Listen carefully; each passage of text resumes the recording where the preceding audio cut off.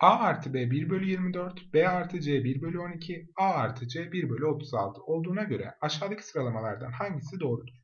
3 tane kesir var. Bunları karşılaştırmamız lazım. Ama pratik olarak karşılaştırmak için hepsinin paydasını eşitliyorum. 3 ile 6 ile 2 ile genişletiyorum. A artı B 3 bölü 72 olmuş. B artı C 6 bölü 72. A artı C 2 bölü 72.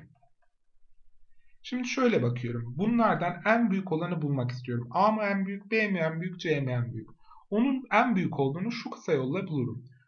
O hangi toplamda yokken toplam en küçük değerini aldıysa o en büyüktür.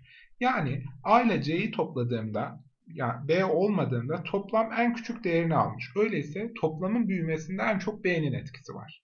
Öyleyse en büyük B'dir diyebilirim. Diğer üç şık gitti. Peki hangisi olmadığında toplam en büyük değerini almış? Yani 3 bölü 72, 6 bölü 72, 2 bölü 72 içerisinde en büyük değer olan 6 bölü 72 değerine ulaşırken hangisi ortada yoktu?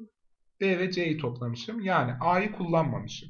Demek ki A olmadığında geri kalan iki tanesi toplanınca en büyük değere ulaşıyormuşum. Öyleyse A da en küçük olanıdır. Bu şekilde çözüme ulaşabiliyoruz. Yani e, bir tanesini kapatıyoruz.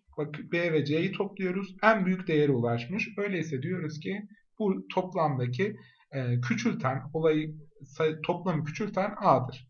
Aynı şekilde bakıyoruz. A ile C'yi toplayınca da en küçük değere ulaşmış. Öyleyse diyoruz ki bu toplamı büyüten de burada olmayandır B'dir. Yani cevabımız Bursa.